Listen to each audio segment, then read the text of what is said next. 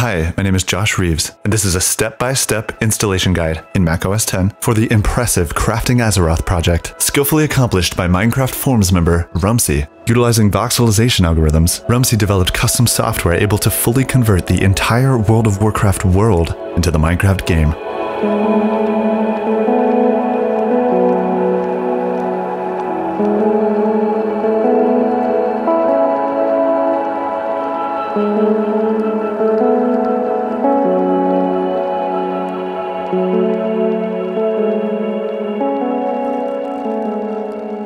Now, if you just want to see the world, you can jump in the game right away. Be sure to make a profile that uses Minecraft version 1.7.2 or higher. Launch the game, go to multiplayer, then add his public server at wow.cursecraft.com. You'll be able to fly around and check out the world. But if you want the actual map files and would like to host and run it locally, you'll need to do a few more things. So let's get started. On a side note, I'm using 10.9 Mavericks, but I'll cover any differences in 10.8, 10.7, and in 10.6. First off, find Rumsey's post in the Minecraft forums website. Go to craftingazeroth.org to be forwarded to his forum post. Grab his torrent link by clicking on it. Now we'll need a torrent client, a program that can download torrents. I use Vuze. It's free and you can find it at vuze.com. Also, any other torrent client will work, like BitTorrent or uTorrent. They're just fine. Once you have one, open it up and use it to download Rumsey's torrent file. Now, this file is nearly 7 gigs and could take a while depending on how many other computers are sharing it. This could easily take a few hours, so be patient. When it's done, you'll see these three files, map, server setup, and readme. Notice they're in the .7z compressed format. We'll need to expand them. macOS 10 has a built-in archiving utility that can compress and expand files, but .7z is not a typical compression method used in OS 10. No worries, we'll grab an excellent tool called the Unarchiver. It's free and can be found in the App Store or at unarchiver.c3.cx. Once you have it, navigate to the Crafting Azeroth v10 release folder.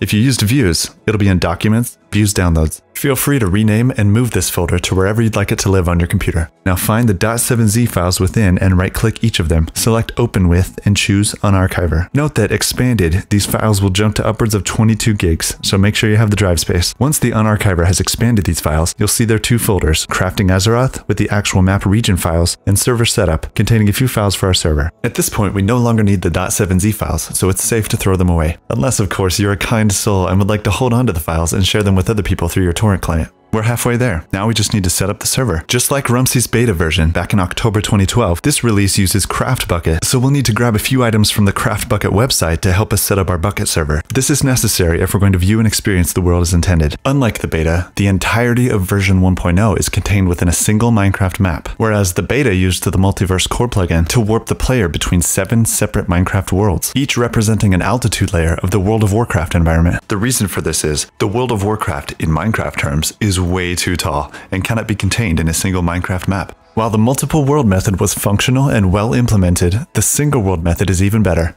Rumsey partitioned the map into giant XZ grid sections. When a player gets too high or low in a section, Rumsey's custom plugin teleports them to an adjacent layer, giving the effect of being in a world that's much taller than Minecraft can make. Direct links to the two things we need from the CraftBukkit website can be found in the README file we just downloaded. Head to dl.bukkit.org and grab the latest version of the CraftBukkit.jar. You'll need to download a version that is at least 172 or higher. As of this video, there is a 172 version, but it's a beta build. By the time you're watching this, they might have stabilized it a bit and made it a recommended build. Get the recommended build if it's 172 or higher. Otherwise, get the beta 172. Now that you have the file downloaded, place it in the top level of your server folder and rename it craftbukkit.jar.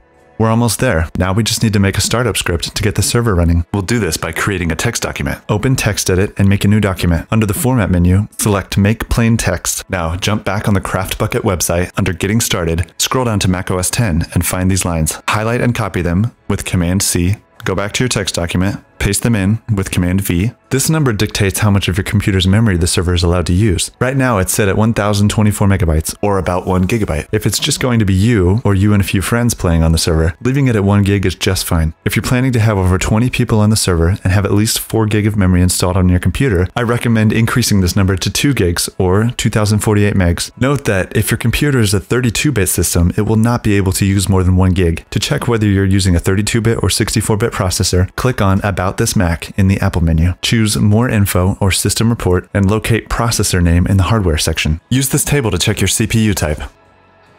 Now save it and name it whatever you like. Dot command. I'm going to call mine start underscore server dot command. Close that and move it to the top level of your server folder. This batch file start.bat is for Windows users and can be safely thrown away. While we're here, we need to grab everything out of this folder except the README and move it to the top level of our server folder. We can then safely delete the setup folder. Before we do anything else, we'll need to start the server for the first time to auto-generate a few necessary files. Before we can double-click our startup script, we'll need to enter a command line into terminal. The terminal application can be found in the utilities folder. Open it up, type chmod space a plus x space, do not hit return. Drag your startup script into the terminal window. Now hit return. This command line simply changes the mode to give execution permission to all file group levels. From this point, you can double click the startup script to start the server. Double click it and let it start.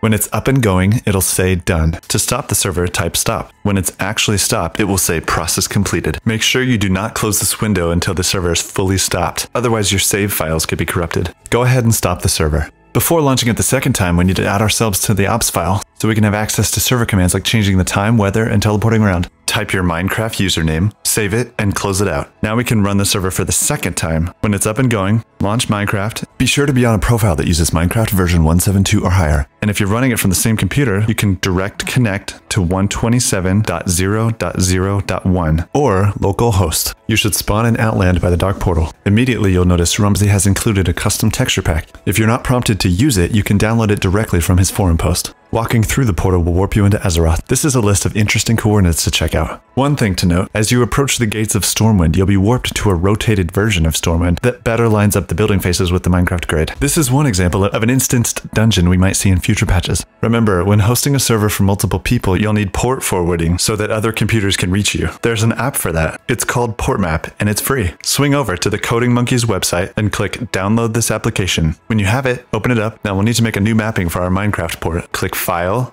New Mapping, and in the local port text box, type 25565. This big number is your IP address. You can click refresh to update it if you don't have a static IP. This is the number that other people can direct connect to to join your game. Remember to run this port map application while you're running your server if you want other people to be able to connect to you. Remember that anyone that joins your game does not need any extra plugins. Those are just server side. That's it. You're off and running. If for some reason your server crashes and you're unable to spawn back in, don't panic. Close everything down, use a program like MCEdit, click Open Level, navigate to your server folder, and choose level.dat. It may take a very long time to load, so bear with it. Once it's loaded, you can choose Move Player, select your name, and click the Move Player button. Then place yourself anywhere out in the open and save it. The next time you start your server, your player should be in this new spot. If you're told the level is empty and needs to generate chunks, that just means you've picked the wrong level.dat file. Be sure to go into your server folder Crafting Azeroth folder, and get the level.dat file within that folder. While this world was designed to be played in multiplayer mode using a Bukkit server, it is possible to play in single player mode. But be aware, you will not be able to use Rumsey's custom teleport plugin. You'll just need to know the Z offset when manually warping yourself between altitude layers. Or Rumsey's static plugin that stops certain blocks from updating, which just means grass will grow, water will fall, leaves will die, and the world will drastically change. To play this world in single player mode, just move your Crafting Azeroth folder into your saves folder along with your other Minecraft worlds. I explain at the end of this video how to get to and see that folder if it's hidden. If you still want the multiplayer Bukkit version to work, be sure to copy and paste this folder instead of just moving it. For the programmers out there wanting to see the source of the magic, Rumsey has posted tons of code. Head over to his GitHub pages and check it out.